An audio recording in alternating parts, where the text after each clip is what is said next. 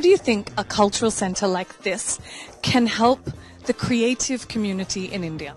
This cultural center is not going to just enhance the cultural fabric of our city, but also of our country. I think the kind of theater, the kind of art, just the kind of craft that will be displayed by so many visionary artists across this country and we have so much talent so i really feel this is going to be like the hotbed of talent music art theater everything.